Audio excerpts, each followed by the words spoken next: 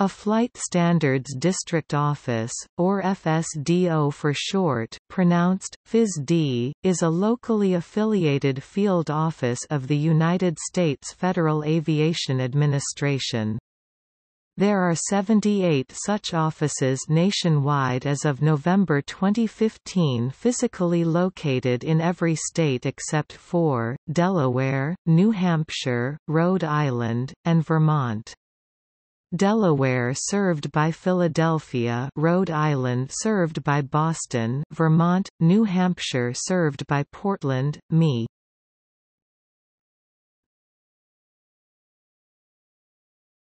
Topic: Purpose The Flight Standards District offices serve as local representatives of the United States Federal Aviation Administration. Each office reports to one of nine regional FAA offices and perform a variety of compliance and enforcement actions.